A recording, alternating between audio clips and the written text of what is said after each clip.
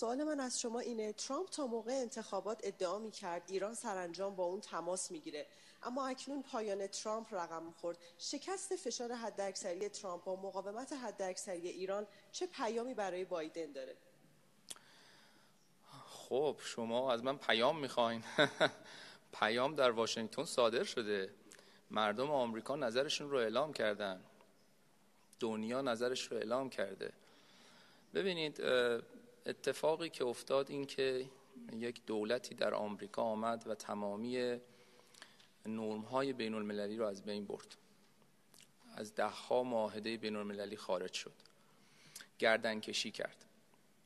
و در گردن کشی خودش هم بسیار بی پرده بود و واقعا مثال هایی رو برای تاریخ روابط بین الملل رفتارهای این دولت عجیب و غریب ایالات متحده درست کرده که سالها مورد تحقیق مراکز و محافل آکادمیک و ای خواهد شد.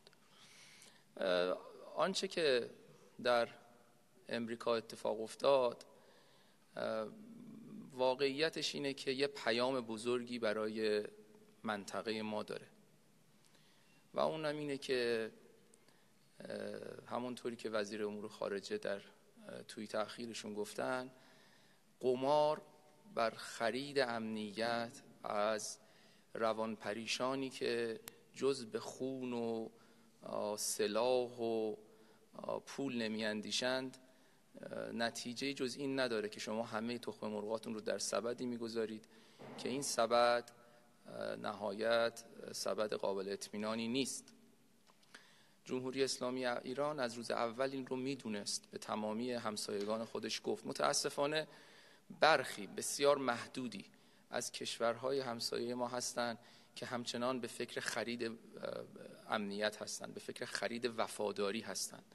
بیشتر از اینکه به مردم خودشون تکیه کنند به لابیگری در کشورها و پایتختهای کشورهای دیگه توجه می‌کنن مهمترین پیام اینه که منطقه ما منطقه هست که بحران زده است زخم های متعددی رو خورده که بسیارش به خاطر میلیاردها دلار سلاحیه که سرازیر شده. حکام کوته اندیشی هستش که فکر می‌کنن امروز رو به فردا برسونن به نتایج خودشون رسیدن. من این نکته رو عرض می‌کنم. ایران فکر می‌کنه که هرچه زودتر کشورهای همسایه دستی که ایران دراز کرده اون معدود کشورهایی که خودشون رو منزوی کردن و تنها در سرزمین های اشغالی و در واشنگتن ترامپ آرامش و امنیت خودشون رو پیدا می‌کردن برگردن و آرامش خودشون رو در یک ترتیبات امنیتی منطقه‌ای در یک مراودات محترمانه پیدا بکنن. بهتر خواهد بود برای منطقه ما.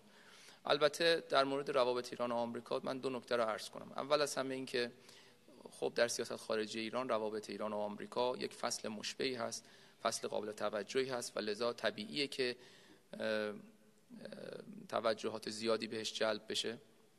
دولت ترامپ در طی چند سال گذشته مسیر بسیار غلطی رو رفته. فشار حد اکثری به شکست حد اکثری انجام میده. این فشار حد اکثری مقاومت حد اکثری کف سق... کف اقدامات ایران بود. ولی بعد از شهادت سردار سپهبد سلیمانی ایران به عکس ضروری روی آورد و جوابهای مختزی رو به دولت یاقی ایالات متحده داد. اما پیام این برای هر کسی این هستش که تنها زبان صلح زبان احترام زبان عزت احترام به عزت مداری جمهوری اسلامی و مردم متمدن ایران جواب میده.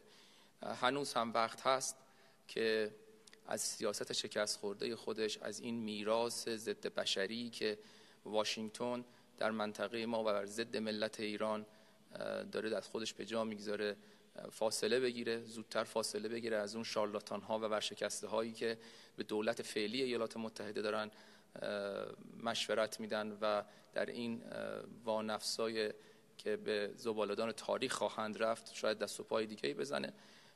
زمان هست وقت هست همچنان می‌تونن از این مسیر غلط برگردن و مطمئنا ما از نزدیک نگاه می‌کنیم بررسی می‌کنیم. اقدامات و اقدامات و حرفهای که دولت آتی ایالات متحده خواهد زد.